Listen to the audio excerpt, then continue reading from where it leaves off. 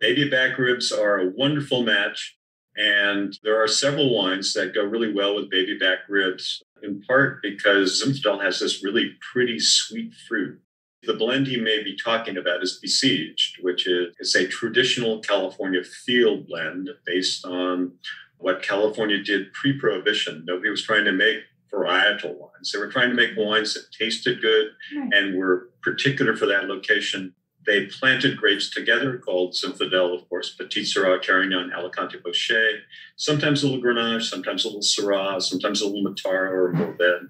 But those were the blending grapes of California. And so Besieged is based on that concept.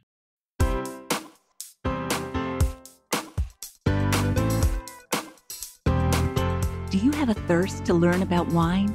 Do you love stories about wonderfully obsessive people? Hauntingly beautiful places, and amusingly awkward social situations? Well, that's the blend here on the Unreserved Wine Talk podcast.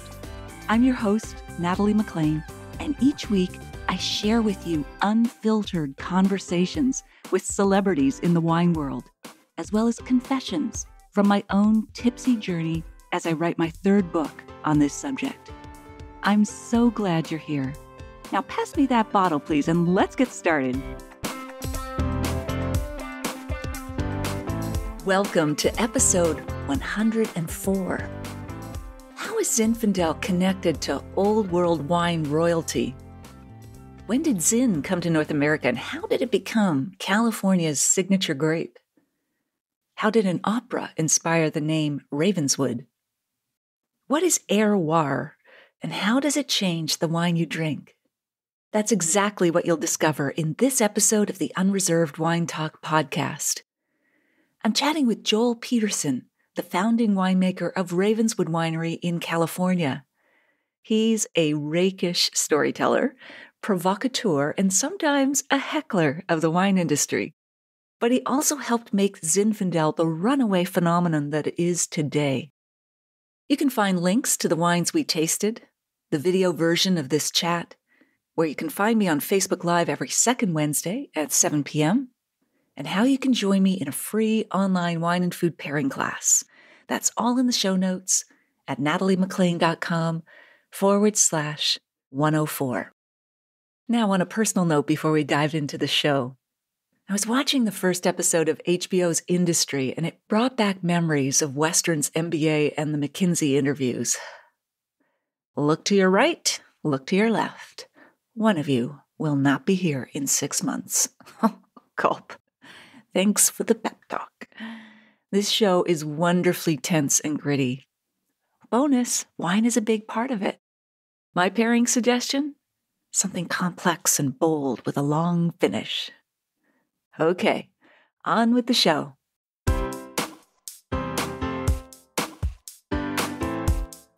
We are joined by the godfather of Zinfandel. His name is Joel Peterson. Welcome, Joel. Thank you, Natalie. I am delighted to be here. Boy, it's amazing to be in Canada even when I'm not. you are everywhere, Joel and people better watch out. no, it's great. You're actually joining us from, is it Las Vegas where you are right now? Actually, I am in Burbank right now. I am near Universal Studios because last night we had this really wonderful charity auction and wine tasting on the backlots of Universal Studios. I was in the streets of New York City last night. Oh my goodness, you are at least the fake streets. oh, okay, great. A fundraiser. So you were leading a wine tasting, I guess, was it? Well, I was doing a wine tasting with many other people, and it's a big auction. It's been going on for about 28 years. I've been here for about 20 of them. We made some significant progress in helping to find a cure for cystic fibrosis. It's been exciting. It's been fun. The auction's great. And there are just a tremendous number of really lovely people who show up at it, as well as all my winemaking friends. It's probably some of the only time during the year I get to see people that I really like, but don't get to see very often.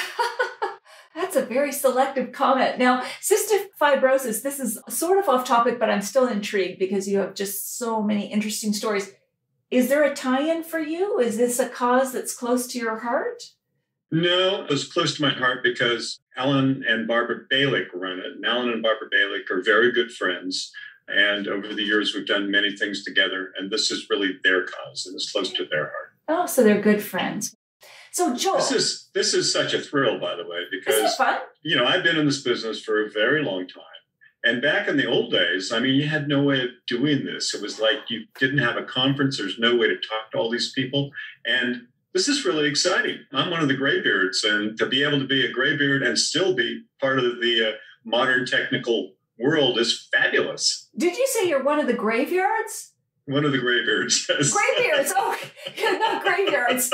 No, you're not gone yet. sort of on trend, but not quite. Okay, so yeah, I love this too. I really do, Joel, because every week we get better at the technology. You and I were working out the sound and the visuals and everything else, and you just have to have patience with it. But the power of connection is pretty amazing. When, you know, I'm talking to you, you're in California, I'm here in Ottawa, Paul's in Virginia, Anne's in Halifax, Liz is in Sudbury, and there's many, many more people. It's bringing us all together.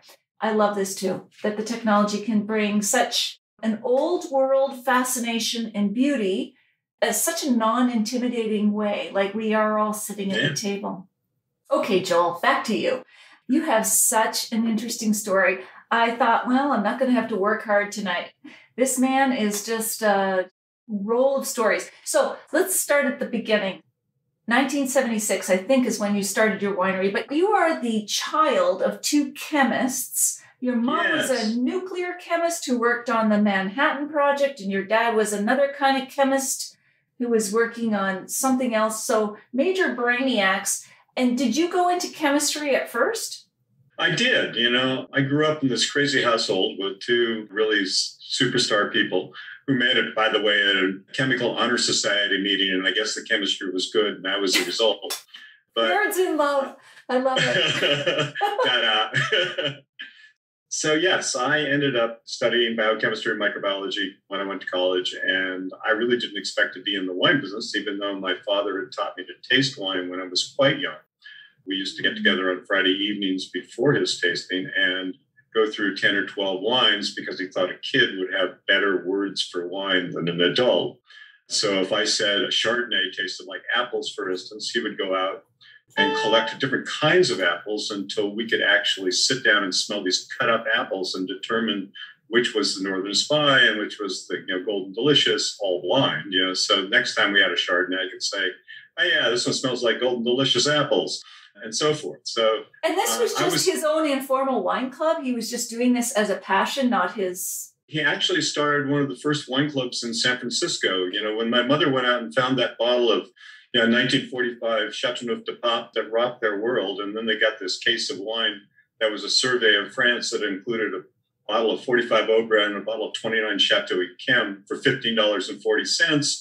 They began to get really serious about wine. My father started a wine club called the San Francisco Wine Sampling Society. Later changed society to club because I guess it sounded more intense. Equally Um, catchy. And uh, he was writing a newsletter that he put out every month, and it was complex. Man, he would write up uh, wines and he'd describe them. I remember he described the 1949 Chateau Rouget as smelling like the spars of the USS Constitution. The what? Now, the spars? The USS Constitution. It was an old sailing vessel, old Ironsides in American parlance. It probably meant piney and tarry and briny because I went and smelled the spars of the USS Constitution. It still exists in Boston. So what are spars? I'm not a sailing vessel girl. spars are the things that go across the Oh. mast in a sailing ship. Spar and so they're, boom. they're the things that hold the sails. okay, basically. gotcha. You were Um, sniffing at spars at an early age. Yeah, yeah, sniffing at spars, yeah.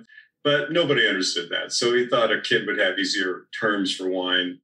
I was 10. Yeah, so I came in as the kind of the simpleton, you know, to simplify language and make it basically more basic. So he was starting to do this. He wrote these newsletters on a monthly basis. He covered all the great regions of the world. There wasn't much happening in California at the time, so I really got to taste a lot of Bordeaux's and Burgundies and German wines were really the core of it, some Italian. But it was a learning experience. I ended up not doing wine. Uh, I ended up in medical research. I uh, was doing uh, immunology research, stimulating lymphocytes, growing tumor cells, and doing things like that. And then I ran into Doing a guy things named like that, immunology. Dismiss. well, you know, this is you know, I could talk I could talk about that, but you know, and the beauty is that a lot of the stuff that I was working on was really before its time in terms of the technological feasibility of it. And hmm. we have really moved forward with DNA research and understanding how these things work in ways that we didn't before. So I'm now beginning to see some of the things that I was working on coming to fruition in terms of the kinds of therapies, the gene therapies, and other things that are being looked at. So that's very exciting. But you know what? I'm really happy being a winemaker. I, you know, I think I got very lucky in that way. And interestingly enough, I'm going to take this on a little sidetrack because interestingly enough, I just got back from Croatia. And I got back from Croatia because I was part of a conference that was put on by the Croatians called I Am Tribidrag. How does that translate? I am Tribidrag? That I am sounds like Tribidrag a because like the name of the grape Zinfandel in Croatia, the aroma of Zinfandel, is Tribidrag. That's not Uh, catchy. Yeah, that's not catchy. Tribidrag, it sounds like a bad player in a Star Wars movie, actually. It does. It Yeah. sounds like the Borg or something that will anyway. And if you read Jancis Robinson in her book on ampelography, where she lists all the grapes in the world, she doesn't list Zinfandel as Zinfandel. She lists it now as Tribidrag. really? And, and that was because a university professor here, Carole Meredith, used DNA to identify Zinfandel and then Tribidrag and of course Primitivo. They're all in the same family. And at this conference, we had people from Croatia, we had people from Italy, and we had people from obviously the United States, myself, David Gates, Carole Meredith. We're all there to talk about this grape. And I learned some stuff that was fascinating. It turns out, for a long time, we didn't know the history of Zinfandel. We didn't know where it came from. We knew it came from the Austro-Hungarian Empire, Queen's Long Island, but it didn't seem right that it was from Austria. And obviously, it was from the Austro-Hungarian Empire because in 1820, when it got to the United States, Croatia was part of the Austro-Hungarian Empire. But it turns out that this grape is much older. The first historical reference to this grape is in 1488. That's Wow. several years before Columbus sailed the blue to find the New World. It's a sale of a barrel of wine from Croatia to the Italians in Apulia, interestingly enough, because apparently there were some Croatian monks over there buying wine. So it's a very ancient grape. We also know even more about it now. It turns out that it was the grape of Venetian royalty, the princes and the dukes that lived on the Dalmatian coast. It turned out that the Dalmatian coast was controlled by the Venetians from 1400 until about 1800 when Napoleon kind of dislodged them. But they grew this grape. So if you went to a Venetian masked ball, one of those nice festive things, the wine you were likely to be drinking was Zinfandel. wow. Yeah. So clarify there, Joel, Dalmatian coast. That's is there historical roots there for Zinfandel with Yes. The Dalmatian coast is Okay. right along the Adriatic. okay. It's part of what is now Croatia. It's part of what used to be Yugoslavia. And it is a very interesting growing region. It turns out that there are 280 some odd different grape varieties in Croatia that are unique to Croatia. And that is not as many as Italy, which is 530, but it's nearly as much as, well, it's more than any place else for sure. The other part that's really interesting about this is that through the use of DNA and the work that they're doing with that, they have decided that there are these founder varieties in Europe, and there are like 12 of them that are related to all the other grapes that came out of Europe.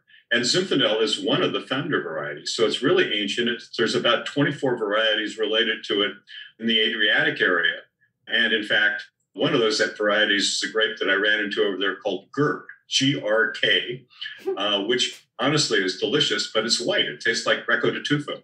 It's fabulous. It's got great body. It's got these really pretty aromatics. It's very, very nice. So Zinfandel is one of them. Cabernet Franc, for instance, is another. Pinot is another. So there are these 12 grape varieties that are sort of the fathers, if you will, or the mothers of all the other grapes in Europe. it was one of these kind of places where you just got all this information. It was so much fun. It was like, you know, recharging my sort of information banks. As you know, Zinfandel came to the United States in 1822. Was yes. brought in by a guy named George Gibbs. Okay. Was an amateur yes. geologist. We have to do a tasting at the same time. Like so history, yes, but also we want to get uh, your comments. You want to drink wine? Oh. Yes. yeah, yes. There will be wine, not just theory and academia. So I want you to continue with your story, but also sort of segue into what's this one? That is Vintner's Blend Zinfandel, I believe. Oh, yes, I, it is. Vintner's Blend Zinfandel was the wine that I started making in 1983. Okay. I had uh, started the small winery and was only going to make single vineyard designated wines. And I found out that I was quickly going broke doing that. Oh. So I needed a wine that I could get out of the winery more rapidly but a wine that didn't cheat. I wasn't mm. out to make a wine that was anything but delicious. Yeah. And so I had to go to areas that I hadn't formerly worked very much in, Lodi and Amador and Mendocino, because the grapes were inexpensive. Right. And I had to use a little less oak in it, and I had to move it through the process a bit faster. But it's still made with native yeast. It still, you know, has French oak associated with it. So the wine is made precisely but I could charge less for it. Yeah. And in charging less for it, I could sell more of it, obviously, and it would sell more rapidly. Absolutely. Uh, so in 1983, I, I started a small amount. I think I made a thousand cases in 1983.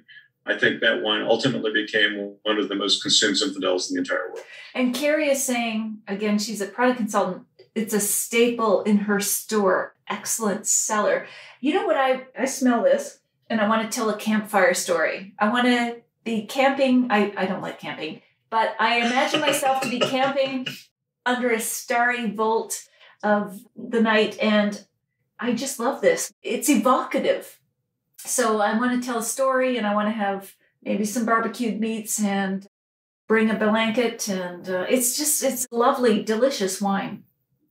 When I'm grilling burgers for friends, just throwing like those big, juicy, meaty burgers. I do a lot of buffalo burgers these days. Real uh, buffalo? Uh, yeah, you know, bison, you know, American bison. And this wine is delicious with it. Mm. It's got enough brightness and enough acidity so that it makes the burger taste fresh every time you bite it.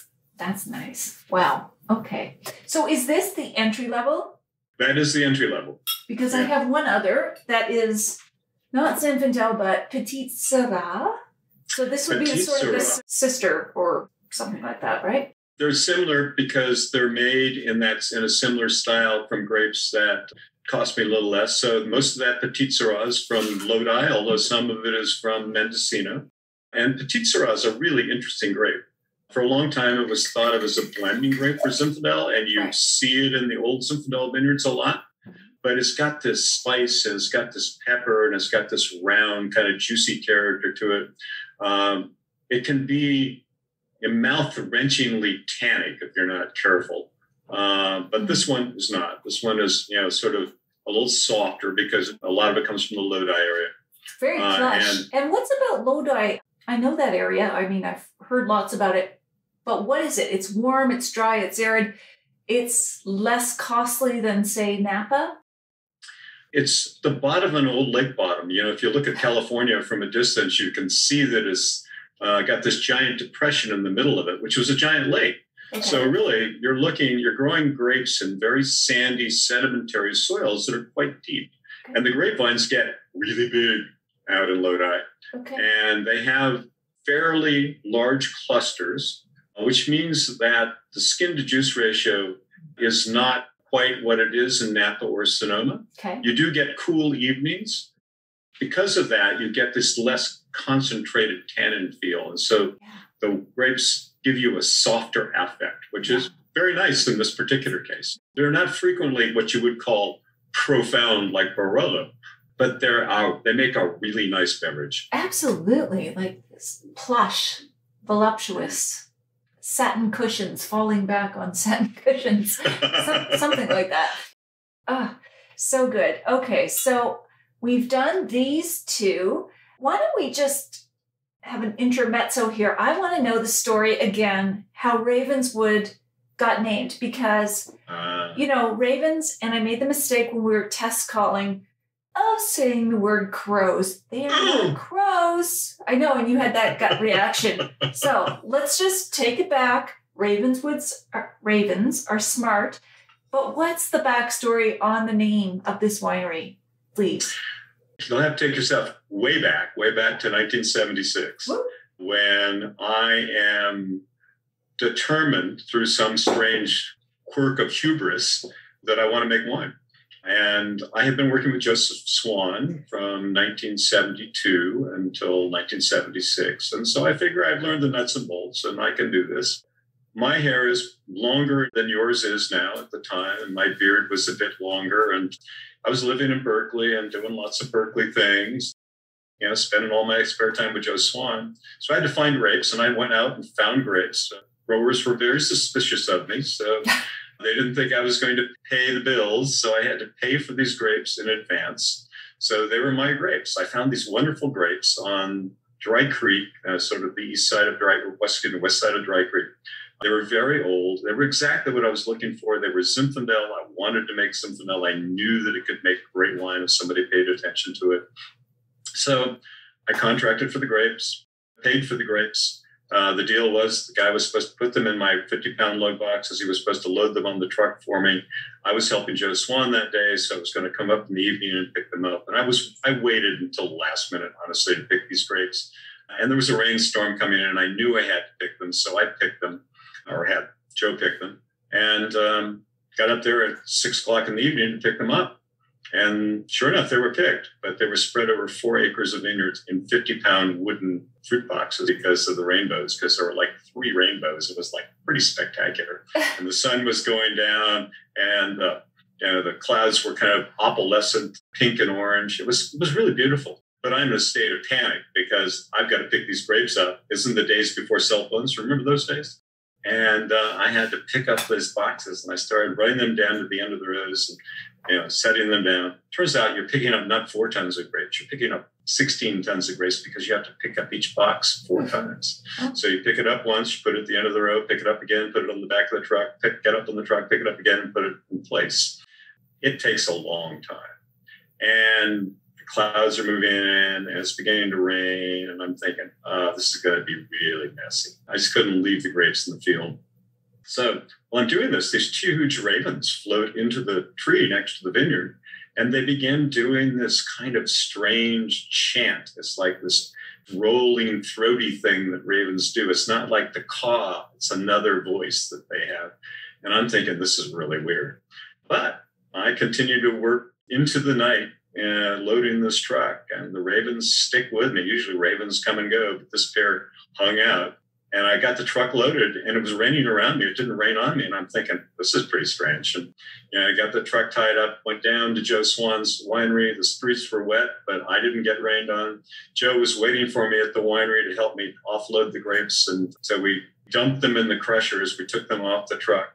And about one o'clock in the morning, we finished up and the skies just opened up. And I mean, just it was crazy. So I'm lying in bed that night, you know, because you can't sleep after something like that. You're exhausted, but you're just your mind is going too fast. And I'm thinking there, what is this about? Rainbows, ravens. I'm thinking this is pretty amazing.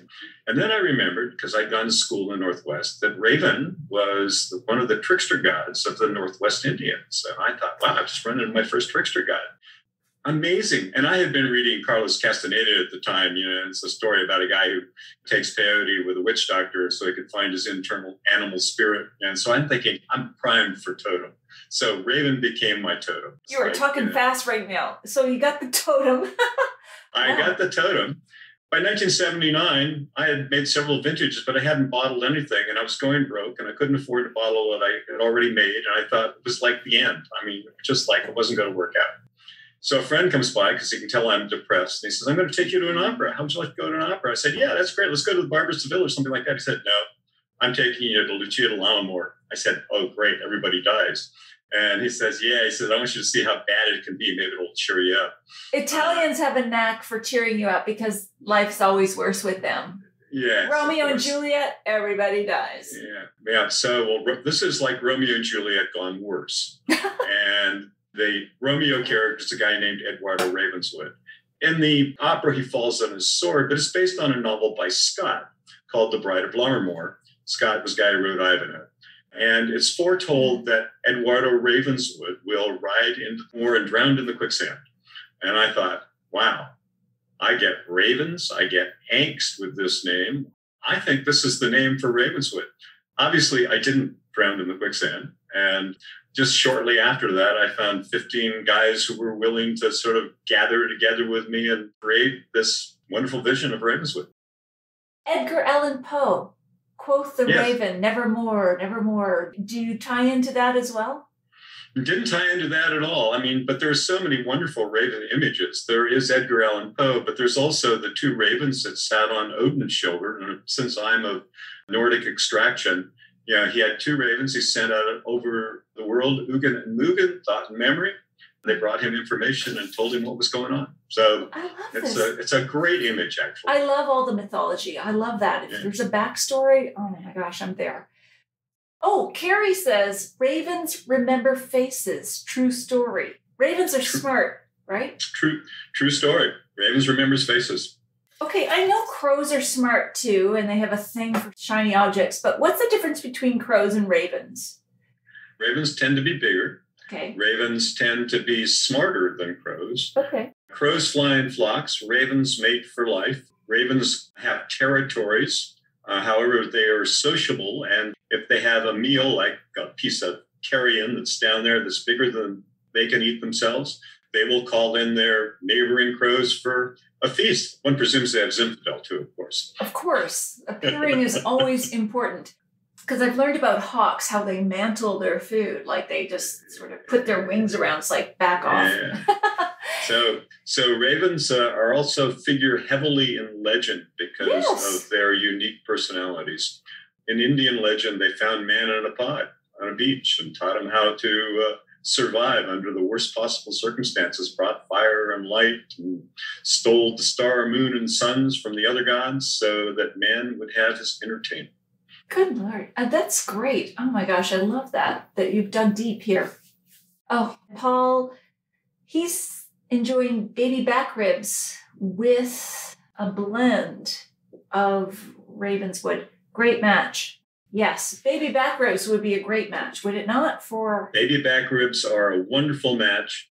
And, you know, there are several wines that go really well with baby back ribs, in part because Zinfandel has this really pretty sweet fruit.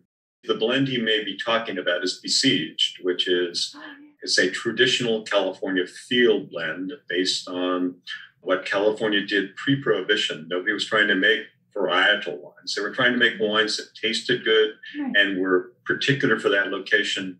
And they planted grapes together called Zinfandel, of course, Petite Sirah, Carignan, Alicante Bouschet, sometimes a little Grenache, sometimes a little Syrah, sometimes a little Mataro or Mourvèdre. Mm-hmm.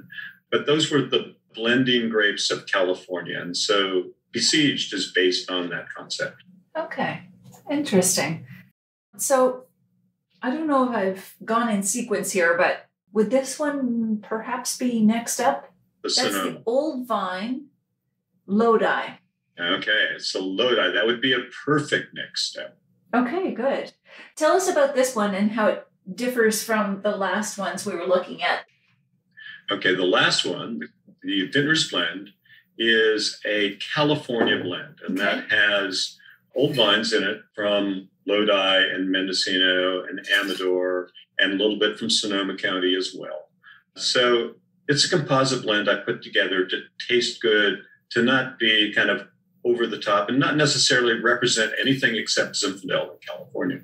So this is Lodi, so we've narrowed the range in which I can play. So the average age of the vines in this bottle is about 85 years old. It is all from Lodi. Lodi is this growing region which is due east of San Francisco. The Golden Gate Bridge forms a gap in the mountains or the hills, and the air flows in through and across the bay, and actually up into an about an 11 mile stretch of Lodi, which would be sort of the north south diameter of it, in which you can grow good grapes. If you go too far to the south or too far to the north, the grapes begin tasting like brown sugar candy because it gets too hot. So this is an area where it gets warm days, cool nights, good diurnal variation. It's been growing grapes for a long, long time. Many old vines there. Much of this fruit during Prohibition, the reason they had so many old vines is because much of this fruit got shipped to home winemakers in places like Canada and places like Eastern United States and Chicago and places like that. So these vines stayed in up until fairly recently, maybe 20 years ago, most of this fruit was still shipped out. But it was kind of the playground of Gallo. If you drank Gallo Hearty Burgundy, a lot of the Lodi was in it. But people like Ridge and myself began to make wines from this area. And they turn out to be really pretty. They're soft, they tend to be round, they tend to have a lot of blueberry tones to them, they tend to be spicy. And the winemaking in this is a little bit more upscale than the winemaking in the Vintners blend. Hmm. Vintners blend tends to be larger volumes, not massive volumes, but larger volumes. Mm-hmm. The Lodi tends to be smaller. Some of the tanks are punch down tanks, some of the tanks are pump over tanks. Uh, we're using a bit more French oak in this. This gets about 20% new French oak. And it stays in barrel, you know, not 10 months, but it stays in barrel for 14 months. So it gets a little bit more time to evolve and change. So we make it a little bit bigger than the Vintners blend, if you will, mm-hmm. but it also has got the character of Lodi. Hmm. So can we talk alcohol, please? So this is 14.5. So as I'm tasting these, to me, they don't taste hot, but 14.5, and I've got some others here, 14.9. Holy smokes. So, what makes a balanced wine, even if you're at high alcohol, and why do these wines have high alcohol and can still not taste hot? Okay, so let's talk about why they have high alcohol to start with, and then I will give you a whole dissertation on alcohol, which is great. I'm glad you asked that question. So, Zinfandel is an uneven ripening grape. A cluster of Zinfandel has berries that are perfectly ripe, berries that are slightly underripe, and berries that are slightly overripe or slightly withered on the same cluster. Oh. If you pick Zinfandel too early and it doesn't have a few of these slightly overripe berries on it, the ones have lower alcohols, but they don't have any kind of internal substance. They don't have any character or weight or any of the things that make them into really good table wines that make them competitive with wines that are from the Rhone or other good European wines, if you will. So you have to get some of that. The trouble with getting some of that is that these slightly withered berries have extra sugar in them. So you can pick the grapes at what you think is 23 Brix, which is might be where you would pick Cabernet. But actually, in the fermenter, it ends up at 25 Brix. So there are two ways of dealing with that. Either you can pick earlier and get lighter wine, or you can try to find exactly the right spot. So you end up with alcohols around 14 or 14.5. Mm-hmm. Or you can do what some people are doing. You can let them get really ripe because they're trying to make these big, dense, slightly sweet wines and dilute them back, hopefully, so you get to like 15 or something like that. But frequently they ended up at 16 with some residual sugar associated with them. So alcohol is like one of these funny things. I try to pick at that precise point where the wines come in between 14 and 15% alcohol. And the wines are fresher that way than they are if you let them get riper and then water them back. And they have more staying power and they're just better brightness. Mm-hmm. Now, on to balance. This is a more complicated picture than anybody ever thought it was. It turns out that because of a thing called reverse osmosis, we've been able to play with alcohol. There have been several people who specialize in this. So it turns out that if you take a wine that is 16% alcohol and you reduce the alcohol level to 13.5, it actually may taste more alcoholic in terms of the way you feel it than it does at 16. It also turns out that alcohol is not linear. So if you take and you take this wine that you've reduced to 13.5 and you add back alcohol in one tenth point increments, so 13.6, 13.7, 13.8, 13.9, you know, 14, you'll find that there are what they call in the biz sweet spots. 13.5 may taste alcoholic and 13.6 and 13.7 may taste alcoholic, but you hit 13.8 and you suddenly reach this point of harmony where you can't really taste the alcohol. The wine seems to have good character. It seems more balanced. And then you hit 13.9 and it goes out of whack again. And it goes out of whack, you know, maybe 13. I mean, and everyone's different, but maybe it'll go up to 14.2 and you'll say, wow, it's another point of harmony at 14.2. It really tastes good again. Doesn't taste out of balance. So things and you can together. do this all the way up the scale. Mm-hmm. The effect of the alcohol is present because alcohol makes a wine taste sweet as well as everything else. So the wine will see, seem bigger and rounder at these sweet spots along the way. You know, the way I make wine and the way most people make wines, we're not using reverse osmosis. So it's a bit of a crapshoot you know, whether you end up at one of these sweet points or not. And this is why we blend. This is why I keep all my Lodi vineyards separate from one another. And then I begin to sort of create a blend. And part of creating a blend is creating the harmony. And really, part of what we're doing is finding the sweet spot for alcohol by blending. The sweet spot for alcohol, where it comes together with the flavor and it's not distinguishable as that's alcohol, that's heat, that's warmth. Exactly. Okay. Interesting. Carrie is saying, hmm, punch down, is it two processes?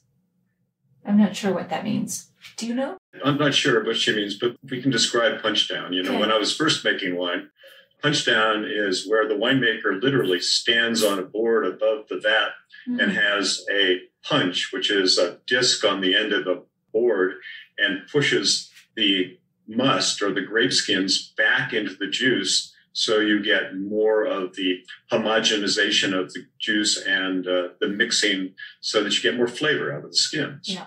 The other technique that is used, there are lots of techniques that are used, but one of the other techniques is called pump over, where you take the juice off the bottom of the fermenter and you pump it over the top of the fermenter. So you're creating this blanket of juice that then goes down through the skins and breaks them all up they give you different things. I mean, because you're actually physically moving the skins around when you're punching down, you tend to get more structure out of a wine like that. When you pump over, it tends to be more gentle. It's a way of maintaining more of the fruit in the wine. So winemaking techniques tend to be customized to grapes. So for instance, in Burgundy, they use a lot of hand punch down uh, and they actually walk around in the must in some places there just to get it broken up because Pinot Noir has got thinner skins and it's not quite as tannic, and you're really trying to get as much can out of it, so lighter colored grape. But in Bordeaux, where they have this big, massive tannic grape, you know, Cabernet Sauvignon, they tend to pump over because it gets less extractive and you don't get any of the bitterness associated with it. Wow, I need a part two here because I need to show the other wines and have another conversation with you. Okay, so I'm going to show you two wines here, Joel, from the Dickerson vineyard because I have them here. 2013, 2014 from the Dickerson. If you want to tell us a little bit about these, because um, I would be happy. Okay. Those are those are my single vineyard designated wines. Okay. so we've just kind of moved down an echelon or up an echelon in the sense that yep. the vineyards I make just in single vineyard wines are really unique, very special vineyards that stand alone. They just make mm. terrific wine. So Dickerson Vineyard is a vineyard that was planted in 1920.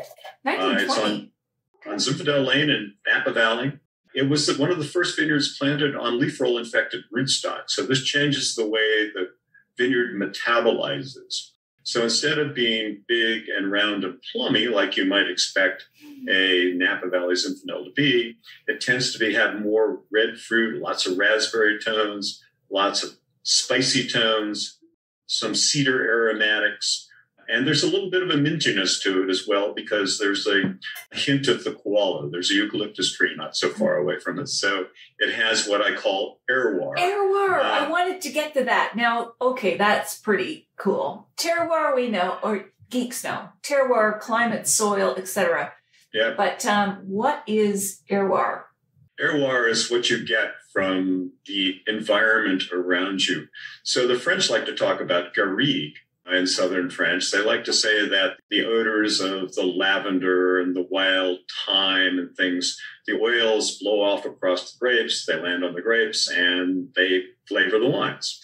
We certainly know that that's true with eucalyptus. I've seen it also with things like bay trees. I have a friend who uh, does wine analysis and he takes things apart with his gas chromatograph. And he once gave me an extract and he said, Hey, what's this? One of the wines. And I said, Geez, it smells like a, uh, a fry restaurant. It smells like greasy. And he said, Yeah. He says this vineyard is right behind a fast food restaurant that vents out over. He says, the character that you're getting is, in fact, you know, fry grease. We tasted the wine too. You couldn't actually taste it in the wine. It comes out as a slightly interesting character. You wouldn't say, oh my God, that smells like a greasy spoon, but it's there. And the same, if you showed me another one that was next to a diesel truck stop, in his fraction, you could actually smell the diesel fuel, but in the uh, wine, it was there, but it was like, you know, only if you knew it was there. What's happening? Is it the molecules, airborne molecules settling on the leaves or the grapes? Uh, it's actually the airborne molecules settling on the clusters. Uh, you see it most radically with, say, eucalyptus trees, which produce oil. Yeah. And in windy years that are quite hot, uh, the wines tend to have, they're near eucalyptus, tend to have a more eucalyptus flavor associated with them because there are these little drops of oil that blow out across the vineyard and ultimately are highly flavored. If you've ever been in a sauna with eucalyptus, you know how distinct it is. So those when those get on the grapes, they're there, you know, to stay. They go through the whole winemaking process with you. Huh. So they actually impact the flavor of the final wine? They do. Absolutely. Heitz Martha's Vineyard is a perfect example of the Heitz. You know how every, everybody talks about how minty it is and how yeah. eucalyptusy it is? Yeah, yeah, yeah, yeah, that's that. And taste almost any Australian Shiraz. Always has that kind of minty eucalyptusy note. That's because it's got eucalyptus around it. Interesting. Okay.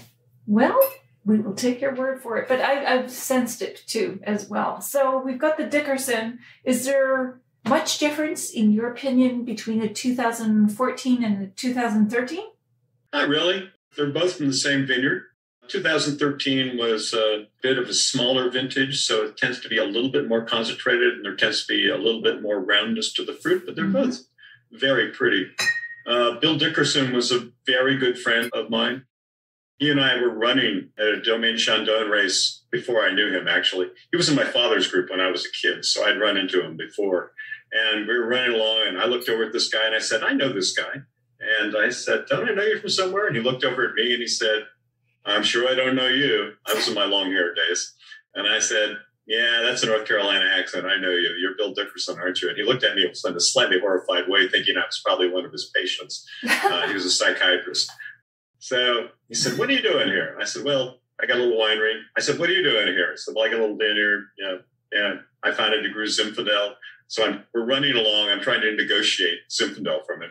And uh, he says, you know, maybe you'd like to start running now. He said, we're getting near the end of the race. We can talk about this afterwards. Now, he's old enough to be my father. So he's like 20 years older than I am at least.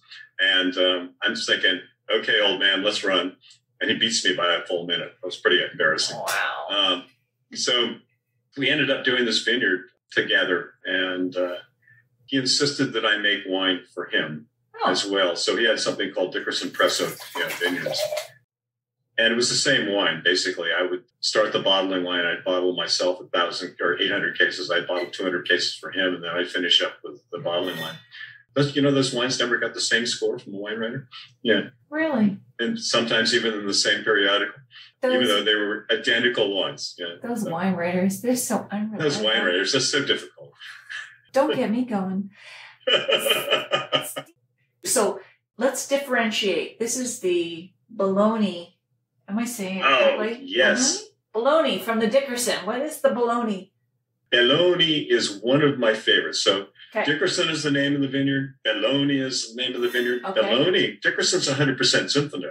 Okay. But Belloni is one of the true old line field blends, vines planted around 1900 Let's define uh, field blend. It's because they didn't really they planted a bunch of different vines and whatever, right? Yeah, this is a Like- co-plantation. So back in the old days, they didn't really care to make varietal wines. They just wanted to make the best flavored wine. Yeah. And different regions have slightly different mixes of grapes depending on what they needed. So this is Russian River, so it has a fair Mm. amount of Alicante Bouschet because they had trouble getting color. Uh, but they also had let, had to let it hang long enough, so they needed acidity. So it's got some Carignan, and it's got a little Mataro in it as well, Yeah. and a little Petite Sirah. So I pick all the grapes together and I co-ferment them so that you get all the goodness and all the synergies that those grapes bring to one another. But made, made exactly the same way Dickerson is made. You know, the same open top fermenters, the same time in barrel, uh, the same native yeast. But of course, native yeast is another place we can go if you're interested. Yep. But native yeast is part of terroir. Now, native yeast, every vineyard has a fingerprint, we know now, based on all this good DNA work we can do with PCR. Every vineyard has a fingerprint that PCR? is identical for that particular vineyard. and PCR is what? PCR, oh, polymerase chain reaction. Uh, it's right. a and just yeah, yeah. Don't you know polymerase chain reaction? It's the new way we have of looking at mixed solutions of organisms and identifying them with their DNA. People used it originally on gut microflora when they were trying to figure out, you know, why people had colitis and things like that. Mhm. But it turns out you can use it in vineyards. So we can look at the mix of microflora in, for instance, fermentation solutions. We can look at microflora on grapes by crushing the grapes all together. And we can identify every fungus and every bacteria within that particular solution. So it's quite amazing. Wow, you're so into science. This is not enough. This one conversation. we need to do this again. Wild Beast, and you know what? It's gone so fast. Joel, really, I mean it. I want to have you back again and dive deeper because the stories bring to life the wine, and yet there's lots of education wedged in the middle crevices, which are amazing. I'm going to close this right now. Not that I want to, but because you need to go on and have your life and other people need to. But I want to invite you back again. Will you come back, please, you know, soon and talk with us again? Because this is amazing. I, I love all the history, all of the science, all of the backstory. It's it's been terrific. I would be delighted to do that. It's Okay. uh, it's great fun to talk to you. You have good questions, and this technology, it's amazing. we Isn't can do it? it. I mean, it's not that hard. It's not No. like I have to travel any place that I can just pull out my computer and we can talk. Yeah. It's it's pretty Good. cool. Bringing us together through wine and technology. It's good. So thank you so much for a great chat. I really appreciate it.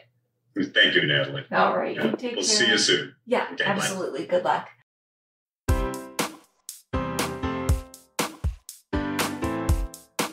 Well, there you have it. I hope you enjoyed my chat with Joel Peterson. Here are my takeaways. Number one, I love Joel's story about tasting wines as a child and learning to identify aromas, like not just apples, but the type of apples, by smelling and eating them. That's how we all can learn to be better sniffers and tasters. Two, the historical roots of Zinfandel and its links to Croatia when it was part of the Austro Hungarian Empire, as well as the Venetian courts, is fascinating, as is the detective work to establish the grape's true heritage and parentage. Its history goes back to 1488, and it's one of the 12 founding grapes of all wine grapes. 3. I now understand better why Lodi makes such great Zinfandel with its deep sandy soils that were once part of an ancient ocean bed. This produces larger grape clusters with smaller skin to flesh ratios, resulting in less harsh tannins and a smoother, juicier, fruitier wine. 4. I also appreciate how wine achieves sweet spots of different alcohol levels where everything is in balance, i.e., the fruit and the acidity, say at 13.8% alcohol, but maybe not at 13.9%, especially when it comes to Zinfandel. 5. The concept of terroir is fascinating and something I want to explore more in the wines I taste in terms of their influences. And 6. I love the story of the Ravenswood name, including all the Raven folklore and Poe and Odin. You won't want to miss next week when I chat with Janet Fletcher, the author or co author of nearly 30 books on food and beverage, including Cheese and Wine. She publishes the weekly Planet Cheese blog, and her writing has appeared in the New York Times, Saveur, Fine Cooking, and Food and Wine. We're talking about wine and cheese pairings for the holidays. In the meantime, if you missed episode 45, go back and take a listen. It's all about pairing wines with turkey, whether that's for Thanksgiving, if you live in the US, or for the upcoming holiday season around the world. I also chat about wine trends that you can completely ignore and a weird wine defect called mouse. Who knew? I'll share a short clip with you now to whet your appetite. Unlike poultry and game birds, turkey meat is very dry in texture, especially if I cook it. No, I can't cook. What am I saying? I pull corks, I don't cook. Even with the best of cooks, turkey is not your friend in terms of juiciness. Good options wine wise are crisp whites like Riesling and Pinot Grigio. And yes, you can drink red wine with white meat. Pinot Noir, Beaujolais, Gamay, Zinfandel all have juicy, berry ripe flavors that go well with the turkey. What you want to avoid really are grippy tannin, big reds like Cabernet. A big buttery Chardonnay from California or Chile can complement the roasted smoky flavors of squash, chestnuts, and pecan stuffing. But if you'd rather have a contrast to the richness of cream sauces and dressings, try a crisp New Zealand Sauvignon Blanc or an Austrian Gruner Veltliner.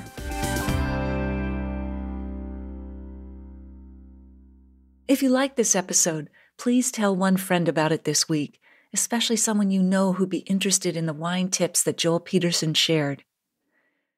You can find links to the wines we tasted in the show notes, the video version of this chat, where you can find me on Facebook Live every second Wednesday at 7 p.m., and how you can join me in a free online wine and food pairing class. That's all in the show notes at nataliemaclean.com forward slash 104. Thank you for taking the time to join me here. I hope something great is in your glass this week. Perhaps a lip smacking delicious Zinfandel.